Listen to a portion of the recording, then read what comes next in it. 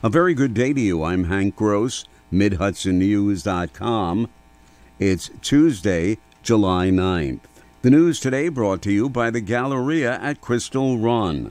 The City of Middletown Mayor Joe DeStefano and other dignitaries gathered in front of the Kleiner Center at the former Middletown Psychiatric Center on a sweltering Monday afternoon for a signing ceremony to celebrate the official transfer of the long derelict property from the state to the city. With the accelerated expansion of Fei Tian College in progress on the site, the transfer closes a long chapter of abandonment by the state and culminates a venture that city officials began a decade ago. DeStefano says the city's assumption of the property will do much for its future. One of our visions was to become a, um, a younger, to get younger in the city uh, with arts, education, and we were able to do that with the expansion of SUNY Orange, with Touro Medical. Touro Medical then offering a master's program, and then the presence of Fei Tian coming in here. So um, this colleges bring in people, they bring in money, they bring in private investment, and um, so it means an awful lot to the city, and I think especially to this neighborhood up here that uh, this is no longer a derelict, vacant buildings. In a couple of years, these will be vibrant buildings just like they are across the road here. Fei Tian operates its main campus in nearby Cuddebackville. There appears to be some confusion as to if the city of Newburgh is going to hire a new police commissioner in the wake of Jose Gamarez' recent resignation. Mayor Torrance Harvey says the administration has already begun a search for a new commissioner, but Councilman Robert McLemore, a lieutenant in the Wallkill Town Police Department, wants it discussed and proven to be needed. I think it's important that we we talk about it, we discuss it. Um, you know, and I'm not trying to take away what uh, was established. It's just the fact that uh, I just think that we can better utilize our resources right now so that we can get more people out there or more police officers out there uh, on the street. McLemore also would like to give newly appointed Chief Brandon Rolla an opportunity to implement his own crime fighting strategies.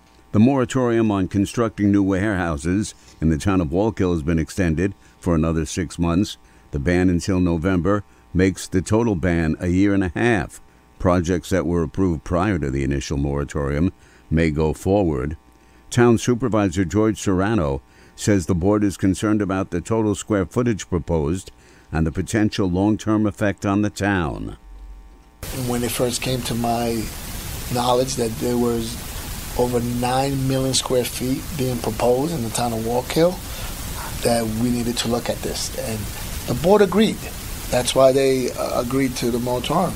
You know, that was a concern. Are we going to become the town of warehouses that are empty?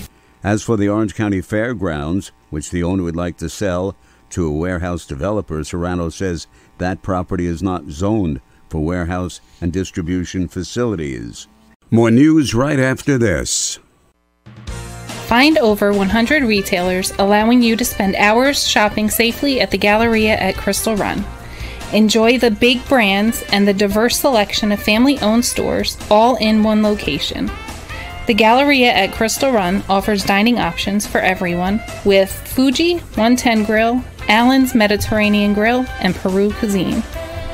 Discover the Mid Hudson Valley's premier shopping, dining, and entertainment destination the Galleria at Crystal Run. For more information, follow us on Instagram, Facebook, or visit GalleriaCrystalRun.com. If all goes according to plans, construction of the new Ulster County Government Operations Center in New Paltz could start in early 2025 with completion in 2027.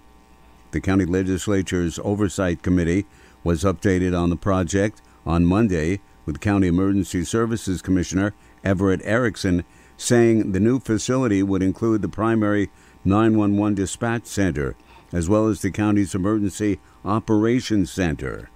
A lot of this information sharing when it comes to emergency coordination, the EOC, those individuals in there need to know what's going on. They need to know what units are responding. They need to know what information is being gathered so they can plan appropriately. The new facility would also house the Information Technology Center for the county.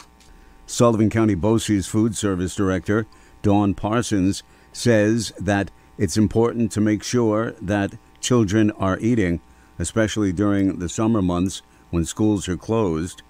The BOCES Summer Food Service Program started on Monday, and it's hoped that it will close the food insecurity gap among people under 18 years of age, says Parsons. If we don't have programs over the summer, we are always, as community members, staff members, lunch ladies, meal men, districts, we always worry about those kids not getting meals. Parsons says they're trying to get sites up, such as the one at SUNY Sullivan, and in centralized locations so that kids who need the meals will have access to multiple locations. Ulster County government has begun its solar and vehicle infrastructure program, which will commit $2.5 million of the county's American Rescue Plan Act funds to support clean energy investments by local governments. The goal is to reduce reliance on fossil fuels and help mitigate climate change. The program will award up to $100,000 to municipalities for solar, EV charging infrastructure, or both, and require a 50% local match. County Executive Jen Metzger says there has never been a more opportune time for local governments to make clean energy investments. State police have released the identity of a man who drowned in the upper Delaware River on Sunday as a 37 year old Bensalem, Pennsylvania man.